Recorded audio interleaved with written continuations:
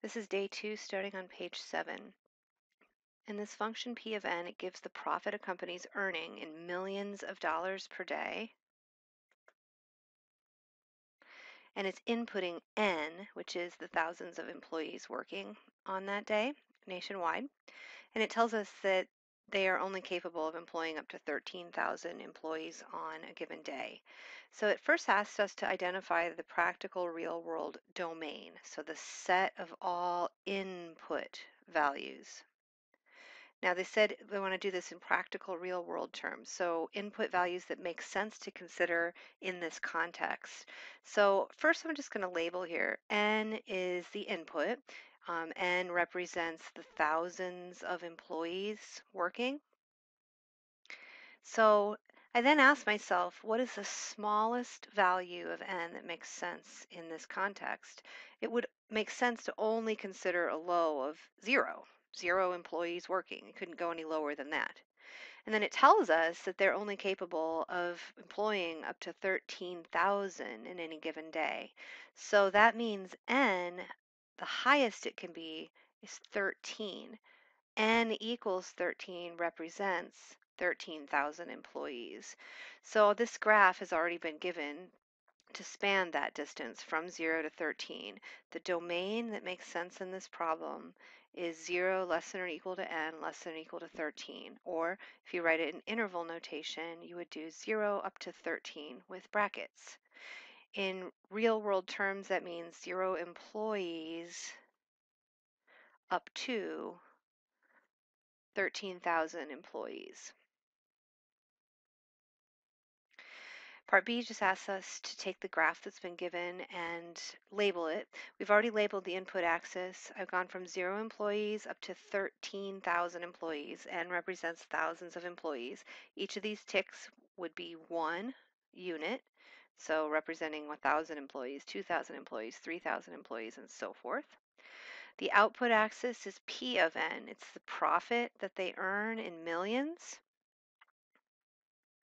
Now to see how high and low that this graph is showing, you can pop this function p of n into um, a graphing calculator or you could put it into Excel and we could see how high the function gets up here at the end point when n is equal to 13. And if we do that, you're going to see that it's showing up to about 250 up here. And the graph that I've created is going down to a low of negative 50. So my particular graph is doing tick marks of 50, 50, 100, 150, 200. All right, so that's a pretty well labeled graph. We can kind of get a sense of what's going on. Part C, estimate the local max point. So the local max, the point that is the highest in its little local region is right here. It's just asking us to estimate it. We're going to be able to find it exactly using calculus um, pretty soon, but right now we're just estimating. It looks like on this graph it's about over 4 up, I'm going to say about 170, and that would mean when 4,000 employees are working, they make a profit of about $170 million, and that's the highest they can get in that little local region of employees.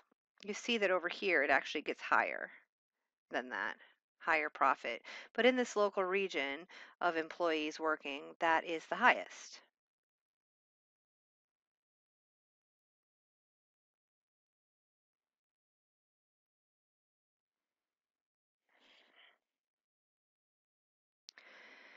Part D asks us to estimate the inflection point. All right, inflection point, it's approximately here. Remember, inflection point is a point where the graph changes concavity. You see that this graph is concave down, and then it changes to concave up. And the point where it changes is approximately right here. Again, this is just an estimate. It looks like mine is around 7 as the input, and I'm going to guesstimate about 130 as the output. So this point tells us that when 7,000 employees are working, they make a profit of $130 million. But the fact that it is the inflection point is also important.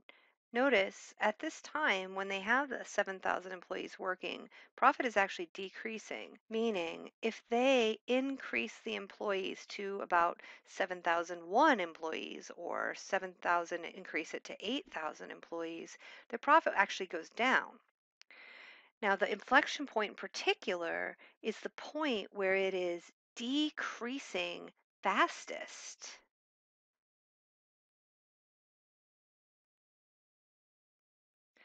You notice this entire span from 4,000 employees up to about 9,000 employees, profits are decreasing. However, it's worse, the very worst it can possibly be right here at that inflection point. It is decreasing faster, faster, faster, right up to the inflection point. Then it begins to decrease at a lesser and, and lesser pace, right up until that minimum point. So the inflection point is when it's decreasing fastest.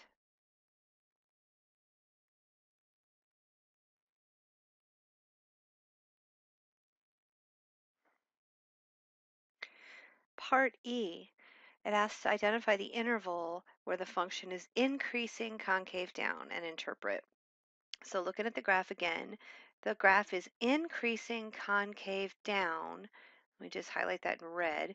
Here, from n is 0 up to that maximum point. The graph's going up, so it's increasing, but it's concave down like an upside down bowl.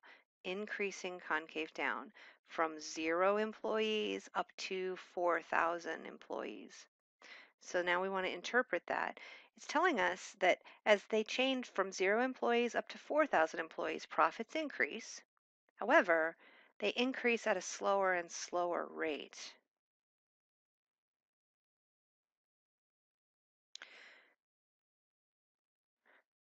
Again, let's just make sure we're really clear on what that means. So for example, on this function, if this company changes from employing zero people to employing 1,000 people, okay, so here to here, their profits make a dramatic increase from employing zero people to employing a thousand people. Look how much profits increased. But up here, going from 3,000 people to employing 4,000 people, profits only increase a little bit. So they're still increasing, but only at a slow rate. So as they increase from zero employees to 4,000 employees, profits increase at a slower and slower rate.